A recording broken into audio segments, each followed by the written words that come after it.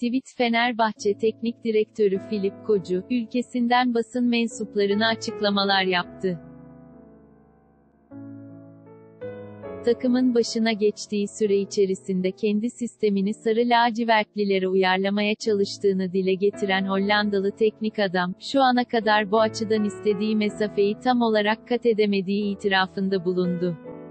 Uygulamak zaman alıyor kocu. PSV Eindhoven'daki çalışma biçimimizi Fenerbahçe'ye uygulamak istiyoruz. Yardımcım Chris ile birlikte başarıya ulaşmak için sıkı çalışıyoruz. Ancak bazen zaman alıyor. Bunlar çocuklar için her zaman kolay olmuyor. Çünkü bildiklerinden farklı tip egzersizlerle karşılaşıyorlar. Dolayısıyla Fenerbahçeli futbolcuların bunlara alışmaları gerekiyor, dedi.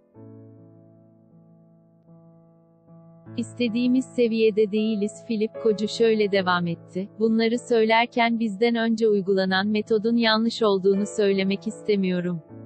Ama en azından farklı. Geçmişteki uygulamalardan dolayı kulüp finansal fair play kurallarıyla kısıtlanmış durumda. Ağustos başı gibi hazır olmak durumundayız. Şu an istediğimiz seviyede olmadığımız kesin. Ancak bazı adımlar atarak ilerlemede kaydettik.